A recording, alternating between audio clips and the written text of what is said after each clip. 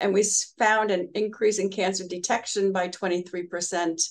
And this is in a, in a population where we have nine dedicated breast radiologists. All we do is read mammograms uh, and, and breast imaging exams.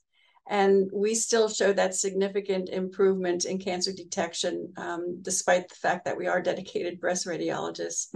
So it's really something that um, is really was amazing to me.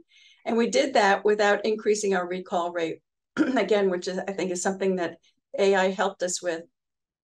Um, so we weren't calling back a lot of patients um, to do unnecessary uh, images or unnecessary biopsies. We saw many more patients who were recalled who had cancer. So they were truly needed to come back and have that recall performed. Um, so our PPV1 also in, increased by 23% and our sensitivity increased by um, 5% uh, without any change in recall or specificity.